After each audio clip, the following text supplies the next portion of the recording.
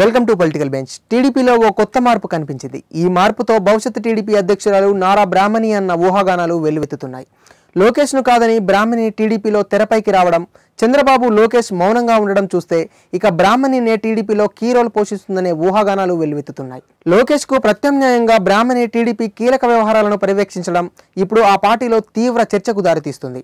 లోకేష్ రావాల్సిన మీటింగ్కు బ్రాహ్మణి వచ్చి దిశానిర్దేశం చేయడం హాట్ టాపిక్గా మారింది. తాజాగా టీడీపీ సోషల్ మీడియా వింగ్ సమావేశం జరిగింది. ముందుగా అనుకున్న ప్రకారం ఈ సమావేశానికి నారా లోకేష్ రావాల్సి ఉంది. అయితే లోకేష్ రాకుండా నారా బ్రాహ్మణి తెరపైకి వచ్చింది.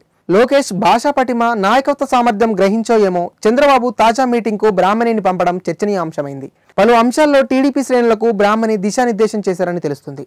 ఇలా టీడీపీలో వచ్చిన ఈ కొత్త మార్పు తాత్కాలికమా? లేక శాశ్వతమా తెలియదు కానీ ప్రస్తుతం లోకేష్ను కాదని బ్రాహ్మణి యాక్టివ్ కావడం సంచలనంగా మారింది.